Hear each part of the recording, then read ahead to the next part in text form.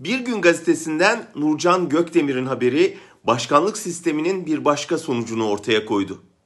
Cumhurbaşkanına hakaretten yargılananların sayısında bir patlama var.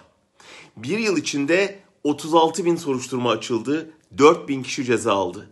Böylece Erdoğan'a hakaretten cezalandırılanların toplam sayısı 10 bini buldu.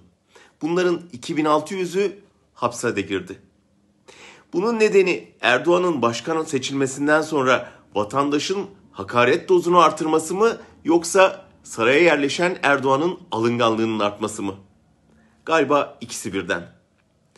Junta lideriyken Happy Top'u 340 hakaret davası açtıran Evren'e kıyaslayınca zirvede alınganlığın 100 kat arttığı görülüyor. Erdoğan böylece Türkiye tarihinin en çok hakaret edilen Cumhurbaşkanı ünvanına kavuşuyor.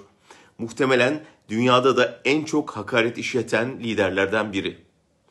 Bu artışın birkaç nedeni var. Birincisi Erdoğan'ın siyasi konumu. Kendisi hem AKP Genel Başkanı hem Cumhurbaşkanı. Kurnaz bir politikayla AKP Genel Başkanı'na laf edeni Cumhurbaşkanı'na hakaretten yargılatıyor. İkinci neden en ufak eleştiriye bile tahammülü olmaması. Mesela CHP lideri Kılıçdaroğlu'na memleketi seviyorsa servetini Türkiye'ye getirsin dedi diye 2 milyon liralık dava açtı. Demirtaş'ı hatalarını kabul etmek yerine ölüme, kana, gözyaşına sebep oluyor dedi diye mahkemeye verdi. Ben 17-25 Aralık tutanaklarını yayınlayarak Cumhurbaşkanına, oğlu Bilal'e ve iş adamlarına hakaretten ceza aldım. ODTÜ'lü öğrenciler Erdoğan'ı farklı hayvan suretinde çizen karikatürler taşıdıkları için, Zuhal Olcay onu bir el işaretiyle hatırlattığı için, Hüsnü Muhalli ona diktatör teşhisi koyduğu için mahkum oldu.